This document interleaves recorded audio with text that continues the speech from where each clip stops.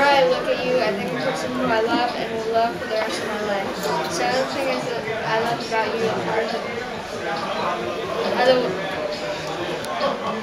are the way you are so nice to your family and how you make my life worth living. Thank you for being together so that this wonderful family can be created. Without you, I would be nothing.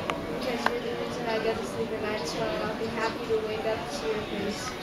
I'm so glad you two got married. I love you two so much. I hope you're ready for a other years.